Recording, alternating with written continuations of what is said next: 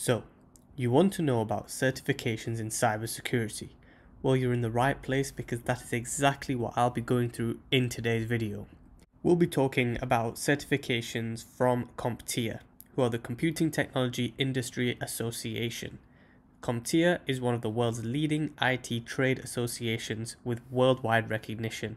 Since its foundation in 1993, CompTIA has become a leader in vendor neutral certifications and has issued over 2 million of them. So, CompTIA Security Plus, which we'll be talking about in today's video, is a credential that is part of CompTIA's core certification portfolio, which also includes other certifications such as CompTIA A Plus and CompTIA Network Plus. However, Security Plus is most notable for being one of the more popular certifications that they provide. The A Plus and the Network Plus certifications can be seen as a foundation for the Security Plus certification, which then goes on to improve technical and networking knowledge. Now, this video, as I said before, will be focusing on Security Plus. However, I do have other videos that I'll be making on A Plus and Network Plus. So if you're interested in them, they'll be linked down in the description below. And after watching them, if you're still confused on which one you take, I also have videos comparing the Network Plus and Security Plus, and also other certifications from other vendors such as GIAC and ISC Squared. So that is all in my channel and it will be linked in the description below. Right, let's get on with the video and talk about Security Plus. So, the Security Plus certification focuses more on cybersecurity However, you can think of the Security Plus certification as a more focused version of the Network Plus certification. Further to this, the Security Plus qualification is widely considered to be one of the best introductions to cybersecurity and the industry in general. And as mentioned before, it is a vendor neutral qualification. And what that means is that it doesn't focus on a specific, say, software, it's more generic in its approach. Looking at the exam itself, it does not have any prerequisites required for the certification, meaning you don't have to have sat anything or done any exams prior. There are also no age or educational requirements, but CompTIA does recommend that the candidate has at least some IT administration experience beforehand. However, it's not required, as I've just said. The exam can then be taken online or in person at a designated test centre, and there is a maximum of 90 multiple choice questions or performance based questions, with a maximum time limit of 90 minutes.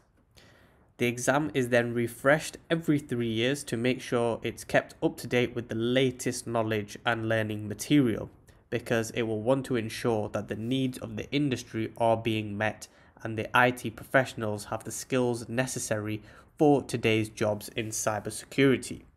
The current exam launched on November 12, 2020 and will therefore be valid for around 3 years, meaning it should be due to change soon at the time of myself recording this video. Right, so now you know the main things about the exam. Let's look at what's actually involved in terms of topics in the certification. So, the first topic to be covered will be attacks, threats, and vulnerabilities, and what that means is you should be able to identify and analyze any indicators of compromise. Then we have identity and access management, also known as IAM, which means you'll be able to implement these IAM controls and account management controls. Then you'll cover the topic of cryptography, which will ensure that you are able to identify and implement basic concepts of cryptography which will then be followed by risk management, which means you'll be able to identify the importance of policies, plans, and procedures in security. Then we have technologies and tools, which means you'll be able to troubleshoot common security issues with software tools. And then finally, we have architecture and design, which means you'll be able to summarize the concepts behind secure application development and deployment, as well as concepts behind securing clouds and virtualization. So you can see there is a complete mixture of the topics which are covered, which is what makes Security Plus quite a popular certification for people looking to apply for jobs and for employers wanting to hire people in cybersecurity. And be aware, don't get put off if you're seeing any of these or you've heard my descriptions and think you have no idea of what I'm talking about. That's what this is there for. You're here to learn. It is a foundation cybersecurity certification. So if you have no prior knowledge of any of these subjects, don't worry, you will learn as you go along. So once you do this, it is important to always know what type of jobs you can get if you sit this certification. So let's have a look at some here. One that can be considered is a security engineer or an analyst, a DevOps engineer or a software developer, a network analyst or a cloud engineer. These are obviously just some examples. There are a lot more. However, if you are considering getting roles like these in the future, then this is definitely a certification you should look to sit. So now that you have all that information, what should you do with it? Well, the Security Plus certification can definitely help you land an entry level IT security position. However, even though I've been saying that this certification is entry level for cybersecurity, the average person wouldn't really consider it very easy. Therefore, it definitely requires some hard work, especially if you've not been involved in the IT field beforehand, because you then may want to look to get some of those fundamentals from the other certifications that I mentioned, A Plus and Network Plus, because you can see that this covers cybersecurity concepts in depth and therefore requires adequate preparation.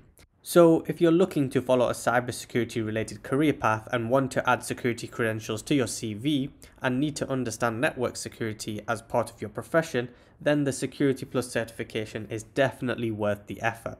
And it's worth noting that some people grasp cybersecurity concepts fairly quickly and some others will find it more of a challenge. However, it's good to be up for a challenge and challenge your own knowledge and always keep yourself learning, especially in cybersecurity. So it's definitely one you should consider if you want to advance your IT career, as it will look great on your CV, it will improve your career opportunities, and most importantly, up your credibility, especially when you're sitting interviews or talking about things cybersecurity related. I hope that's all been useful for you. If it has, do check out my Instagram as well as I've got more content on there and I also have a website which you can view down in the description below and ask me for any help that you need. It'll be really great if you guys can leave a like as it makes me aware that you're enjoying this content and then it also helps the channel out.